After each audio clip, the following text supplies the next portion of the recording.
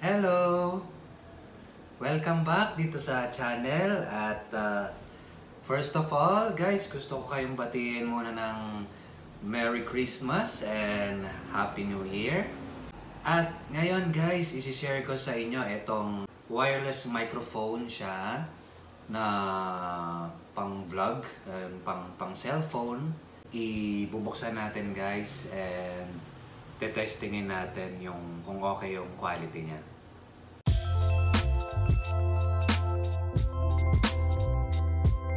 Before natin i-open guys, basahin ko lang. Ah, so yung brand niya ay Boya.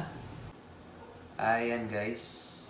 Tapos nabili ko pala to guys sa Shopee.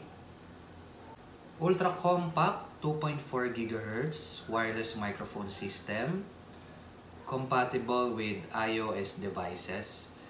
So, itong nabili ko guys ay pang iPhone siya.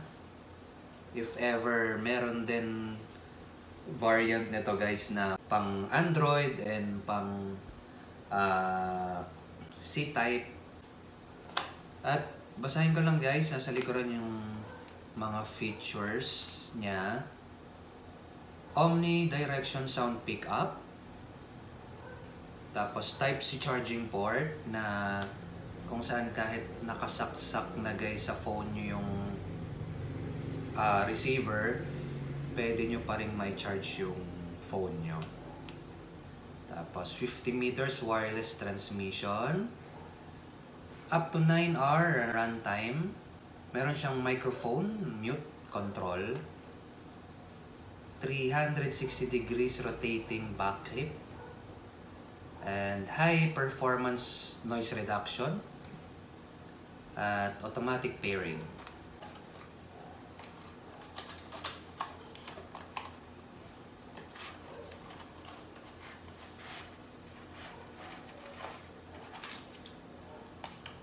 Okay. So, ito yung may user manual siya nakasama. Sa loob niya may silica gel And then yung cable na pang charge. Ano to? Type C. Tapos eto na yung transmitter or yung microphone itself na wireless. And then ayan, may clip siya. Pwede nyo siyang mai-clip tapos, ito na yung nararotate na 360 degrees. Yan. And meron na siyang wind filter ba to? Ito naman yung receiver. Na ito yung sabi ko guys, kahit nakasaksak na sa phone nyo, meron siyang hmm, Type-C slot na para pwede nyo pa rin mai-charge yung phone nyo. Then, ano pa, yun lang guys, yung laman ng box, wala na. At ngayon guys, try natin siyang testingin. Isasaksak ko na tong uh, receiver guys sa, sa aking cellphone. Okay, ayun. Umilaw na siya guys. Nag-asul na. Then, blue na rin yung ilaw dun sa receiver. Ang ibig sabihin daw noon ay paired successfully na daw siya. Testingin na natin yung mic. So, hawakan ko lang muna. Testing, testing. Mic check. 1, 2. Testing, testing. Mic check. 1, 2. I-try naman natin guys yung noise reduction niya. Effective nga ba talaga? Marireduce ba kaya talaga yung noise? Pag naka-on na yung noise reduction, makikita niyo, malalaman niya rin, may indication siya na green na yung ilaw niya. Hmm, check natin guys. Testing, testing, mic check, 1, 2. Testing, testing, mic check, 1, 2. So, ano kaya guys, na-reduce kaya talaga yung noise? Ngayon naman guys, yung walang noise reduction.